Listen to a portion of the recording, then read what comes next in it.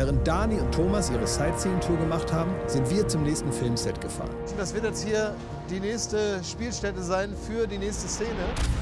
VR Nation ist ein Ort, an dem man Virtual Reality Spiele spielen kann. Dani denkt, das ist Teil des Gewinnspiels, dieses Virtual Reality Set da mal auszuprobieren. Aber eigentlich ist es Teil unseres Drehs.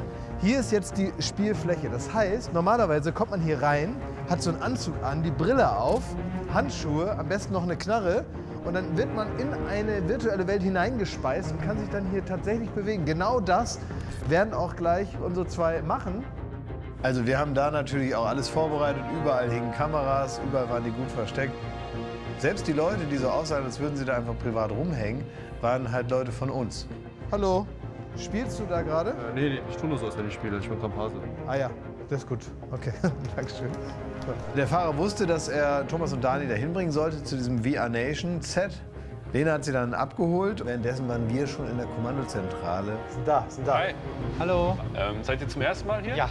Super. Ihr könnt erstmal eure Sachen in die Schließfächer packen. Dann ist was passiert, womit wir nicht gerechnet haben. Wir müssen, glaube ich, beide auf Klo. Sie hätte überall aufs Klo gehen können, aber speziell da war es blöd, weil der Weg zum Klo ist durch unsere Kommandozentrale. Äh. Okay, ähm, ich frage mal einen. Einen Moment. Ist nicht möglich.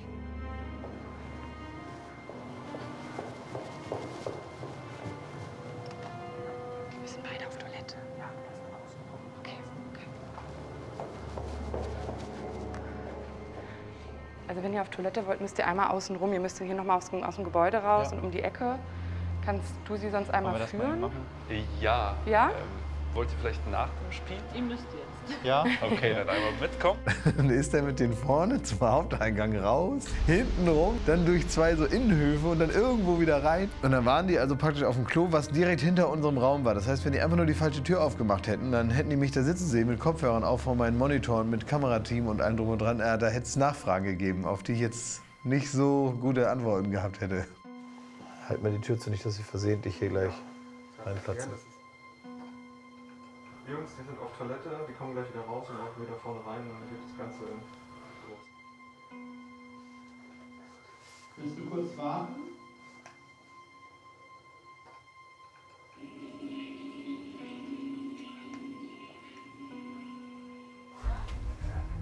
Oh, nee. okay, sind wieder vorne, oder? Sind wieder vorne. Super, dann einmal mitkommen. Ähm, ihr könnt euch dann einmal bei der Nummer 3 und 4 kurz hinsetzen. Und dann haben sie eine Einweisung bekommen, wie das alles funktioniert. Scheiße, ich bin blind. Na, stecke schon. Oh Gott, die Hände. Ihr bekommt jetzt von uns Waffen. Oh, Oh mein Gott. Okay. dann müsste mal Dani, gehst du vor? Ich gehe. Oh, ich bin dort. Download in progress. Und jetzt? Ja, die sind wirklich süß miteinander, ne? Wie die so miteinander umgehen und so. Oh Gott, ich sehe Zombies. Wie, wie süß die auch so zusammen Zombies abknallen. Geht mir richtig Herz auf. Wir hatten Thomas und Dani genau da, wo wir sie haben wollen. Jetzt können wir zur dritten Szene kommen. Die Dani, die ist ja Filmfan, hatte ich ja schon gesagt, aber ganz besonders von Actionfilmen. Die macht so Cosplay und all so Zeugs. Das heißt, es wäre ja schon auch ein Traum, der ihr erfüllt wird, die Hauptdarstellerin zu sein in so einem Actionfilm. Dafür konnte ich die Schauspieler Sabin Tambrea und Jan-Georg Schütte gewinnen. Die spielen zwei zwielichtige Gestalten aus der Unterwelt.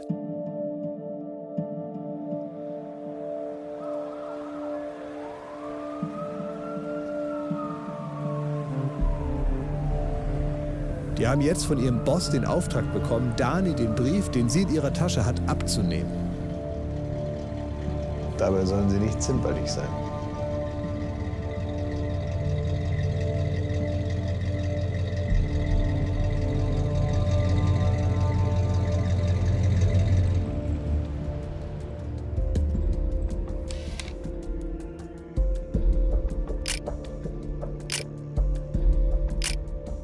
Okay, Boss, also diese Dani hat den Brief, den wir besorgen sollen. Ja, wir besorgen den Brief. Klar. Mit allen Mitteln. Ja, mit allen Mitteln.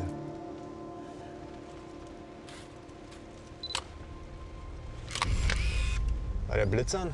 Ja, hat geblitzt. Dani weiß ja gar nicht, was sie spielt. Klar, in der Handlung des Films ist sie eine Supersoldatin aus Russland und ähm, soll diesen Brief verteidigen. Also, das ist sie. Dani. Auch genannt der Schakal. Schakal. Sie war Teil des Super Soldier-Programms von den Russen. Super Soldier. Wir haben natürlich vorher Thomas gefragt, was ist denn so speziell bei Dani, was wir einbauen können in die Handlung. Hat er gesagt, sie ist begeisterte Acrylbildmalerin. Gut. Ah ja, und sie malt Acrylbilder. Alter, das ist richtig geil. Ja, Aquarell ist gestern, Öl ist vorgestern, Acryl, das, ist, das bringt dich richtig auf Track. Acryl war vorgestern. Aquarell war gestern, Öl ist heute. Ich mal auch Acryl. Egal, auf jeden Fall brauchen wir diesen fucking Brief. Irgendwie wollen alle diesen Brief haben. Auch das Kartell natürlich. その手紙はカテルのものだ。お前らも知ってるだろう。ファクダスサイアトウクリングフォン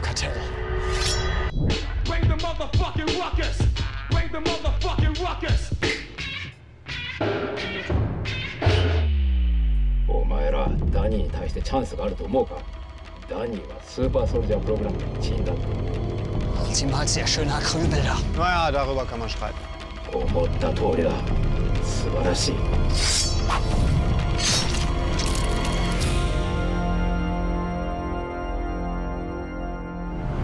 Also, Hayato hat seine Konkurrenten aus dem Weg geräumt.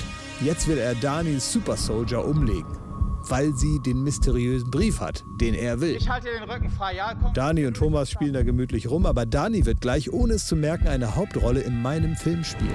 Dani ist praktisch die Endgegnerin des Films. Das ist jetzt also der letzte große Kampf zwischen Hayato und Dani, Super Soldier von Russia. Äh, Obacht! Jetzt kommt also Hayato da reinmarschiert und jetzt stellt man als Zuschauer fest, wie wollen die denn jetzt mit dem da einfach eine Szene drehen? Wie geht denn das? Ja, Dani hat ja diese VA-Brille auf und die Kopfhörer, die sieht nichts und die hört nichts. Das habe ich auch mal demonstriert. Sind's viele? Ja, hinten auch!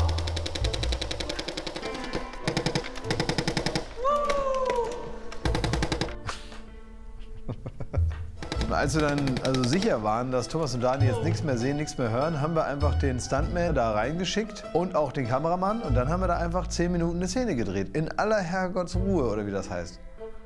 Okay, und Stuntman ab. Oh, fuck.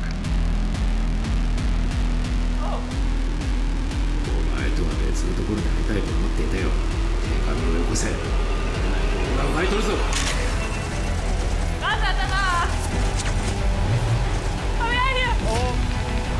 Hilfe! Uh, uh, uh. Ah! Hinter dir, hinter dir! まさか忘れたわけじゃないだろうなさあ手紙を起こせこれが最後だ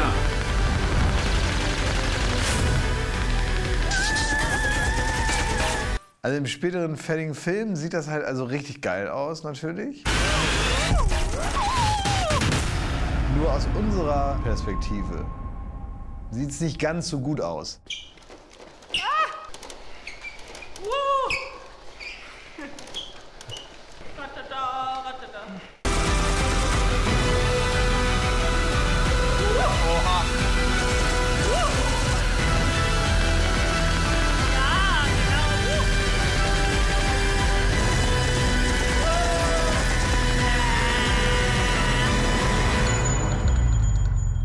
Halleluja.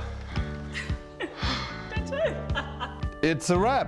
Hayato ist tot, Szene ist im Kasten. Check. She's just a devil woman with evil on her mind. Beware the devil woman, she's gonna get you from behind. So, Mission erfüllt. Ihr habt's geschafft. Ihr könnt eure Brille abnehmen. Die haben dann jetzt weiterhin ihre Sightseeing-Tour gemacht mit dem Fahrer und wir mussten natürlich schon zum nächsten Set. Ein Restaurant. Hier werden wir die letzte und alles entscheidende Szene des Films drehen. Die Betreiber wussten Bescheid, alle, die da sitzen, alles Komparsen. Sie kommen an, okay. So, Sie sind draußen. Hello again. Hallo. Na, wir sind jetzt hier im Schneeweiß. Ja. Und das geht natürlich alles auf uns. Sie wurden dann zu Ihrem Platz gebracht. Speisekarte. Schön. Dankeschön. Schön. Und auch Vorspeise. Richtig raufhauen, oder? Ha? Das wird bezahlt. Jetzt hat man also wirklich gemerkt, dass Thomas sehr, sehr angespannt war, weil er wusste, jetzt wird irgendwie hier dieser Antrag wohl stattfinden. Und irgendwie wird er damit ja auch was zu tun haben. Aber neben all dem, was wir da heute so gesehen haben, was braucht so ein Film noch? Einen guten Soundtrack. Crow, kommst du mal hier hin? Der hatte ja einen Riesenhit, nämlich Easy. Und er hat sich bereit erklärt, diesen Hit umzutexten auf exakt die Liebesgeschichte von äh, Thomas und Dani. bin echt nervös jetzt. Also schön. Ich Ich bin das Gefühl hast, finde ich sehr sympathisch. Deinen Song Easy wirst du jetzt gleich live performen, aber wir tun so, als käme es praktisch aus dem Radio. Warte, ich fange jetzt an, ja? Ich ziehe das jetzt hoch. Wir haben da eine Musikeinlage eingebaut und deswegen hatte Crow die Gelegenheit, diesen neu geschriebenen Song live zu spielen. Wir haben jetzt noch mal was ganz Besonderes. Es ist ein Song, den Sie, liebe Hörerinnen und Hörer, Vielleicht schon mal gehört haben, aber in dieser Version ganz bestimmt nicht. hier ist Crow mit der neuen Version von Easy. Leute sagen zu mir, Crow hat's kapiert. Nee, wir haben Nachspeise. Hast du das Lied? Wir haben äh, eigentlich so ganz viele Sachen, die wir so über Thomas, über die beiden wussten, haben wir dann eingebaut in diesen Song. Gemeinsam mit Crow. Also weiß ich nicht, dass die sich getroffen haben beim Lichterfest in Graz. Bin auf den Gras ganz spontan, Verabredungsplan, Lichter gehen an, die Nacht lang getanzt, so schießen. Ich hatte das Thomas vorher schon gesagt, dass er, wenn der Song dann läuft, Dani mal darauf aufmerksam macht, dass sie auf den Text hört. Was singt der?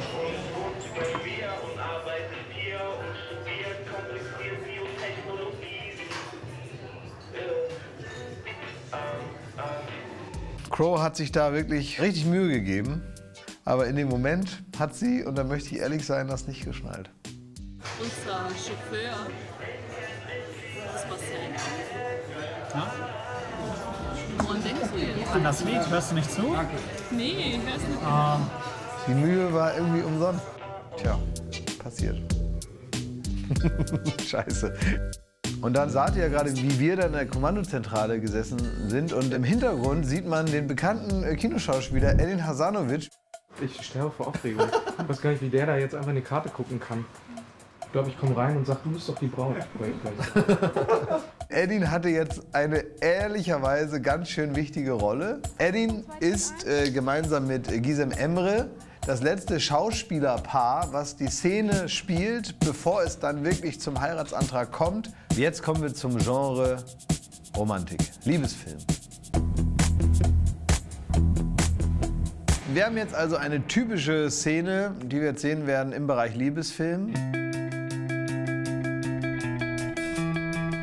Deine beste Freundin, also hör auf mich. Mann, du musst zum Flughafen und sie aufhalten. Sie ist die Liebe deines Lebens. Ich weiß, aber sie ist mit einem reichen Typen viel glücklicher. Da gibt es also einen sympathischen Verlierer. Was soll sie schon mit so einem sympathischen Verlierertypen wie mir? Außerdem schaffe ich es auch nicht mehr zum Flughafen. Der möchte seine große Liebe davon abhalten, äh, aus seinem Leben zu verschwinden. Dann gibt es aber noch die beste Freundin, die ihm dabei helfen möchte. Du setzt dich jetzt ins Taxi und hältst sie davon ab, nach Portugal zu gehen und diesen fiesen Typen zu heiraten.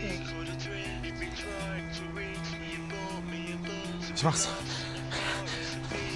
Du hast recht. Ich setze alles auf eine Karte. Ich weiß, kannst du mir 50 Euro leihen?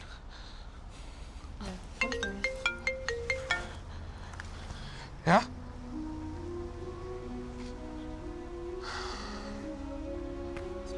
Okay, dann ist das halt so. Was ist los? Ich bin zu spät.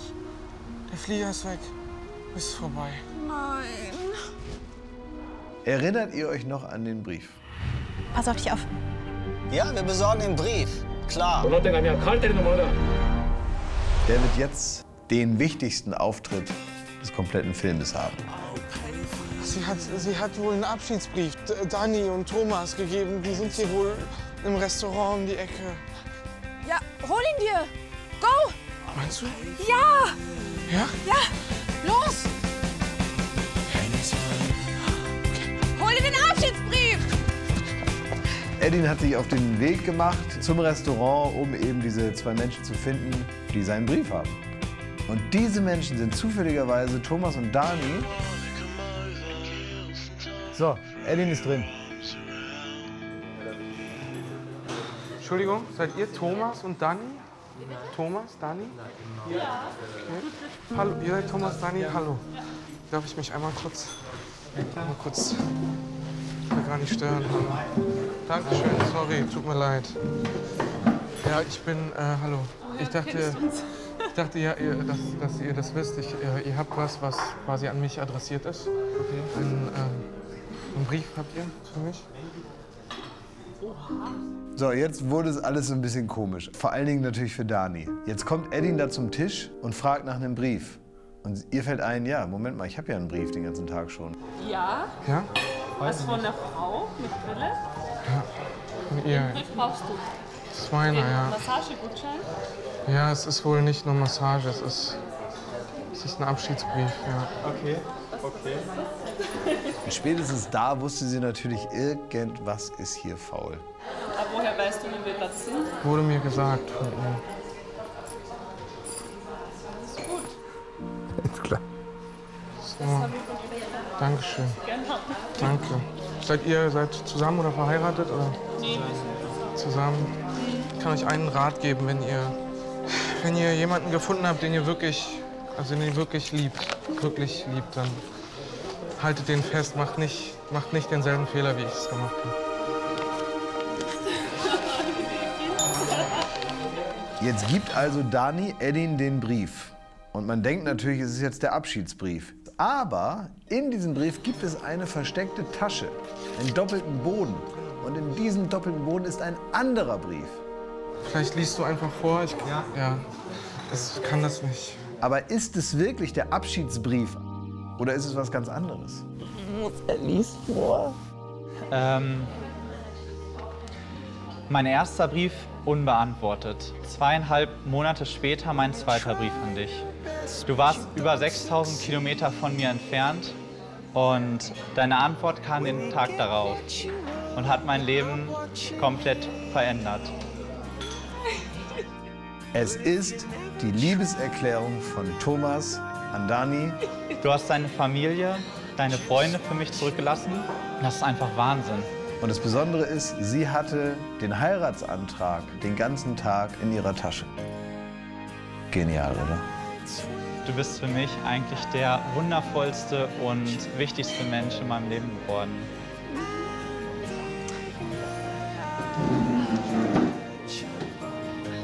Die letzten dreieinhalb Jahre mit dir waren, glaube ich, das Schönste, was man sich vorstellen kann. Du bist meine Traumfrau, du bist mein Zuhause und du bist die Liebe meines Lebens. Und ich möchte noch so viele schöne Momente mit dir gemeinsam verbringen. Darum möchte ich dich hier und jetzt fragen heute, liebe Dani, willst du mich heiraten? Ja?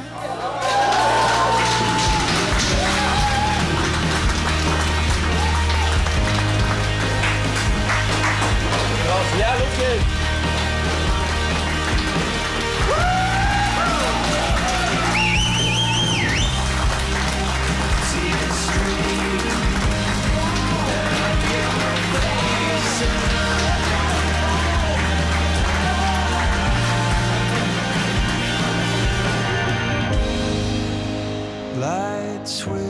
Wir wünschen Dani und Thomas nur das aller, allerbeste. Ich hoffe, ich konnte diesen Start in ein gemeinsames, schönes, langes Leben ein wenig erinnerungswerter gestalten.